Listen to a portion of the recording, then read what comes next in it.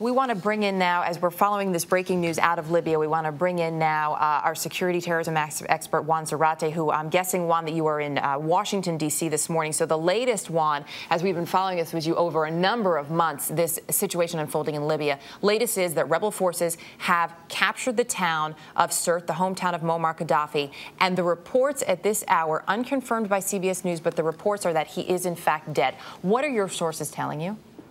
Well, it's not clear yet, Erica, what has happened, but uh, the reports flowing in from various sources are describing uh, uh, that Gaddafi was wounded, if not killed, in the battle for Sirte.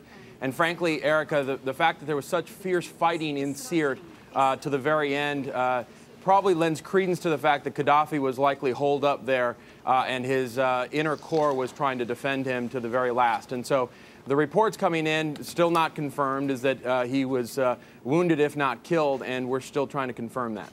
Yeah, and we just put the picture up again here. Uh, Juan, it's Jeff Glor now. Um, this picture that we're getting with the first reports were that uh, Muammar Gaddafi was injured in the legs. This picture would clearly seem to indicate that he was injured in a lot more than the legs.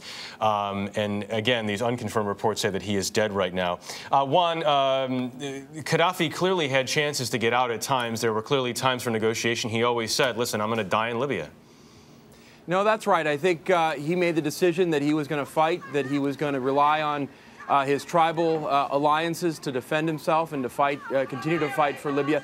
Frankly, it was one of the concerns that the Transitional National Council had that he would uh, begin and foment an insurgency against uh, the new government. And so he was there to fight. He could have perhaps fled to places like Zimbabwe. People have talked about Venezuela and other places, but he was there, and clearly people were fighting around him. We'll still see, have to see what the reports suggest as to what happened in Sirte, but uh, the reports are that he he's dead. Juan, you mentioned the concern that he, that he and those loyal to him could mount an insurgency.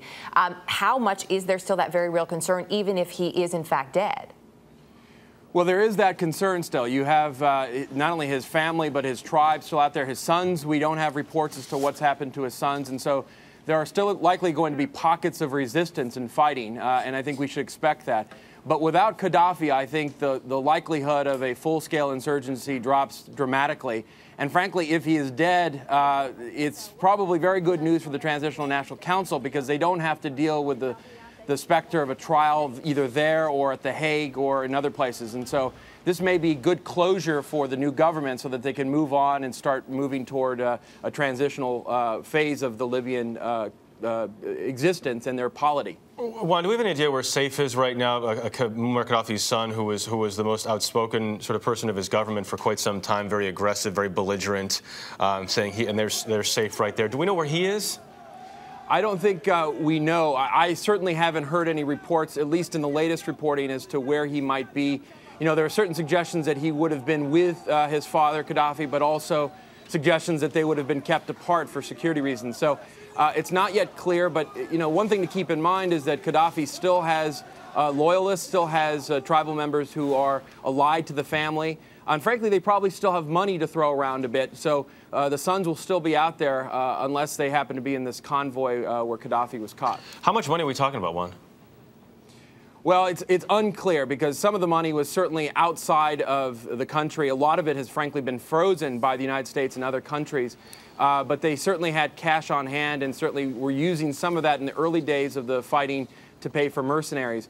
I doubt at this point, though, that we're talking about uh, you know caches full of money, uh, but certainly something significant. And, and frankly, tribal loyalties probably will weigh out here more than the money itself. And so, again, there are going to be pockets of resistance uh, even beyond Gaddafi's death. Juan Zarate, thanks. Always good to have you with us. Appreciate you coming in at the last minute, too, this morning.